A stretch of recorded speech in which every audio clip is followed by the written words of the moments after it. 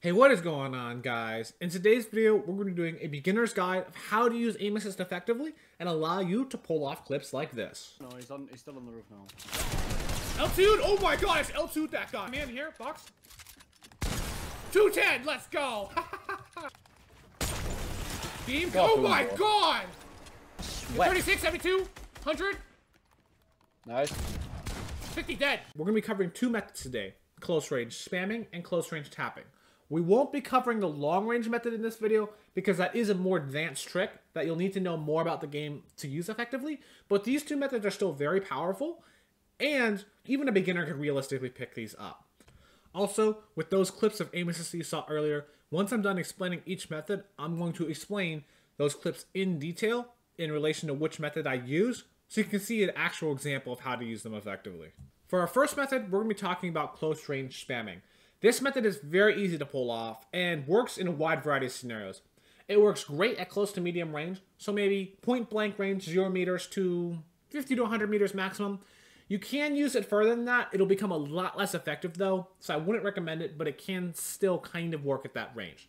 In terms of guns that it works well with, it's going to work well with any gun that has a very high rate of fire. So, like a SCAR, Silenced AR, Silence SMG, pistol, Silence pistol, compact SMG. These kind of weapons you use at close to medium range with high rate of fire is going to work great.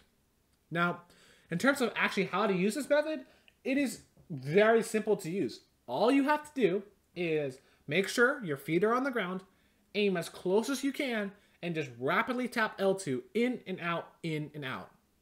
And that's honestly it. If you just continuously spam the left trigger, every time you click in, it's going to snap onto the target if you're close enough. So you can basically just continuously keep snapping on your target and keep aiming with near perfect precision if you do it correctly. Now, this doesn't mean the game will entirely aim for you. You still need to stay close to the target while you're doing this. But if you're a little bit off, the game will automatically correct that for you, and you can basically get very accurate aim. This is going to be effective in situations where, say, you fire a shotgun, you switch to your SMG or AR. You can use this method to do a lot of damage very quickly. Um, in a last-ditch scenario, you can use this, you know, pull out your SMG and just start spamming L2 and hope that you can get enough damage in time. You can use this AR, someone flying nearby you. You can continuously spam L2 and keep the lock on as they glide. There's a lot of situations where this method is going to work really well, and it's really easy to pick up. So overall, it's definitely one I recommend trying out. Very easy to use, and I won't lie, it can be fun to get those crazy lasers. Alright, now that I've explained the method of L2 spamming at close range in detail, let's have a look at our examples once again to get an idea of what this will look like in game. So in this example, don't have a shotgun, really doesn't matter. I know the enemy's up there, so I'm to pull the AR, as that's to be my most effective weapon at close range, even without aim assist, and it's to work best with this method at close range. I jump right, and as soon as my feet touch the ground, already tapping L2, right? Obviously, this guy's not even looking at me, so this is a perfect opportunity, right? Out, out, in, out, in, out, in, right? You can see I'm cycling it very quickly, and as you can see, even though my aim is not 100% perfect, see I'm a bit off here, it's not going to matter, because as I go back in, it resets, and it just does the pull snap-on effect onto them, I get the final hit, right? Very easy to pull this trick off. It doesn't require anything crazy. Let's go on to our next example. Okay, same deal here. Yes, I have a spaz, but at this range, the spaz is not going to do a ton of damage, right? It'll, I'll maybe get 40, 50 damage, but I'm better off. Look, I have green SMG. I'm on high ground. Perfect opportunity. Peek over the edge. Right here. See, I'm already clicking in. Aim down sights. Aim's a little bit off, right? But look. Boom. Gets corrected. And just snaps right on.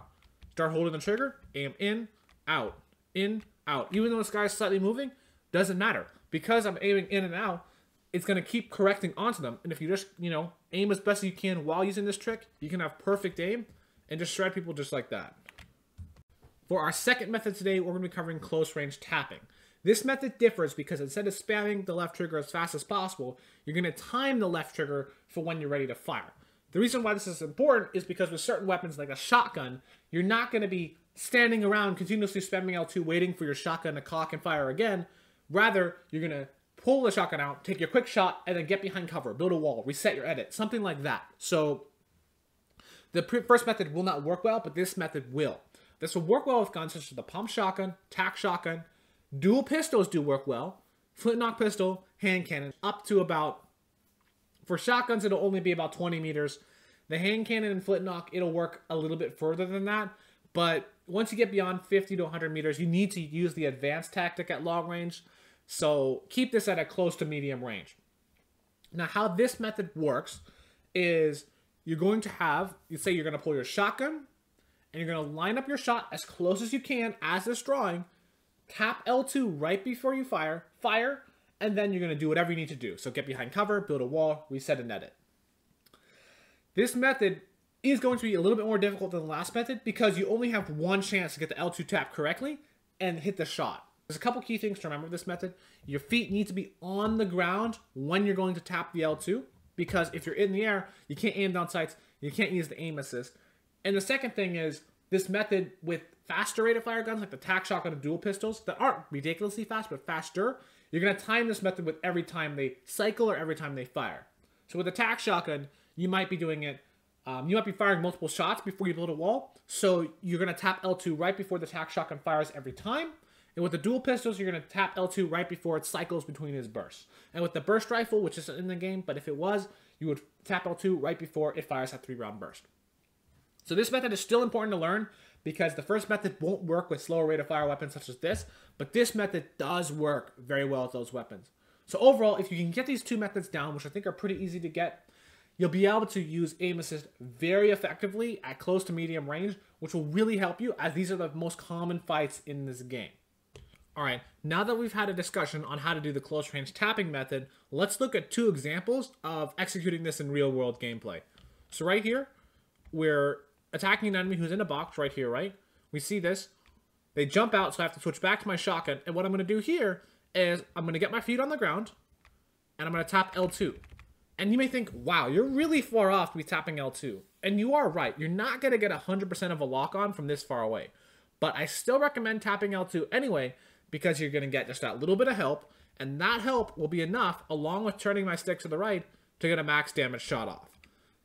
You know, at close range, you can be quite a ways off and still get a rot auto rotation. So it's always worth tapping L2 with the shotgun if you can because it's going to give you a little bit of extra help if you're anywhere near your opponent to get a snap-on effect.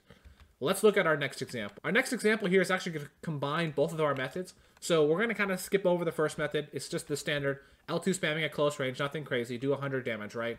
But right here, we're going to switch to our flintlock to shoot up the wall. That's not the important part, or shoot up the ramp. But right here, I still do the L2 anyway, even though it doesn't do anything against ramps. But I'm going to swap to the shotgun. See, I'm on ADS, right? trying to get as close as possible. Re-ADS. It's going to give me the snap-on. Fire. And get a nice clean shot, right? So the key here is always go for the snap-on. Even if you're a bit further away with the shotgun, it's still going to work, right? Press L2. Wait just a split second and then fire. And if you're close enough, the L2 will give you the snap-on effect and get you close enough to hit the shot. Uh, in the next guide video, I'm going to do an advanced guide where I cover how to do the long range tapping method. It is much more difficult to pull off than these two methods, but if you feel like you've gotten to at least an intermediate level with this game, I definitely recommend giving it a look because that method is the most powerful of the three. And with that, I hope this helps you, and I'll catch you in the next video.